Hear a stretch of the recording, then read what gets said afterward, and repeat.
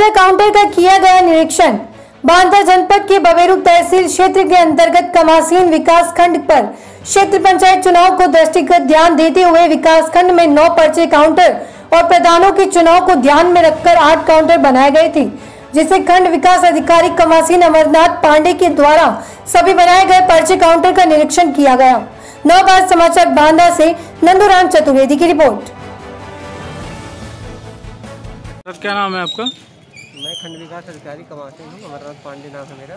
जी आज किस बारे में चेकिंग हो रही थी सर ये चेकिंग चल रही थी कि हमारे यहाँ क्षेत्र पंचायत सदस्यों के नौ काउंटर बने हैं आर हैं। हम्म, और प्रधानों के चूँकि हमारे यहाँ आठ नया पंचायत हैं तो आठ काउंटर बने हैं। अच्छा। तो मैं देख रहा था कि सारे काउंटर पे संबंधित यारों उपस्थित हों हम्म, और लोगों को प्रॉपर तरीके से फॉर्म बिक्री चलती रहे जिससे लोगों को कोई असुविधा न हो।